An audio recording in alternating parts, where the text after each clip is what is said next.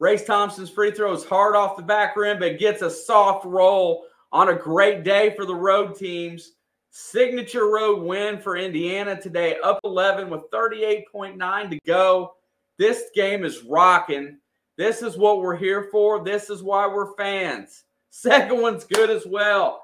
Indiana's put up 77, 77, 65, 36. Here comes Smith.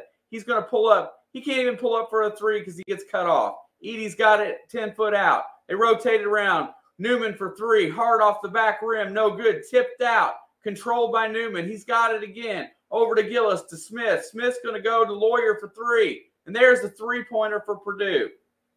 They cut the lead to nine with 18 seconds. Trayce has got it. Flips it to Galloway. He's going to go dunk it. Ow!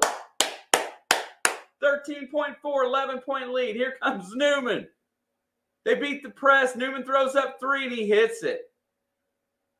79 71 with seven seconds. Here we go. Galloway crosses the timeline. Kopp's got it. Two, one. Coffin nails. Game's over. Indiana gets the big dub today at Purdue, the one place that we did not think we could win and we dominate the whole second half.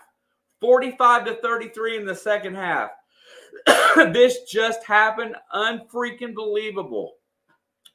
Can't tell me that that it, it went well for most of this game. We were riddled with foul trouble, but we got it done.